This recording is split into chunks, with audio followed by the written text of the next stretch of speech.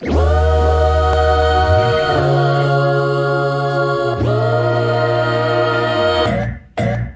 it doesn't matter how many breaths it will take, just how many moments took a breath away. And it doesn't matter how many times you cried, just how many reasons you find to smile.